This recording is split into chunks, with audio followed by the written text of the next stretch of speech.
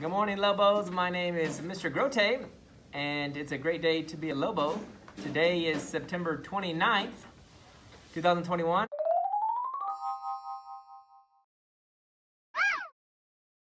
And our normal uh, hosts for in the news are not here today, so I'm taking their place. Hopefully, I can do uh, just as good of a job as they do every day. So we're going to stand and place our right hand over our heart, and we're going to say the pledges. So, I pledge allegiance to the flag of the United States of America and to the republic for which it stands, one nation, under God, indivisible, with liberty and justice for all. Now the pledge to the Texas flag. Honor the Texas flag. I pledge allegiance to thee, Texas, one state under God, one and indivisible. Please remain standing for a moment of silence.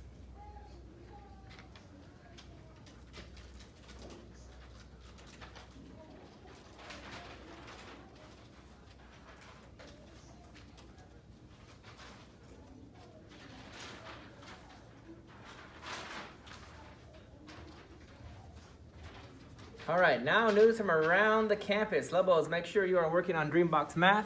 Whenever you get a chance, remember do not use a paper or a pencil. so this month, September 15th to October 15th, uh, we celebrate Hispanic Heritage Month.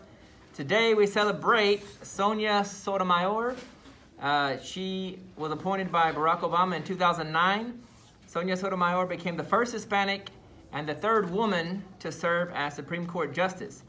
She is known for her calls on reform to the criminal justice system and her dissents on issues regarding race, gender, and ethnic identity. All right. Now it's time for the cheesy joke of the day.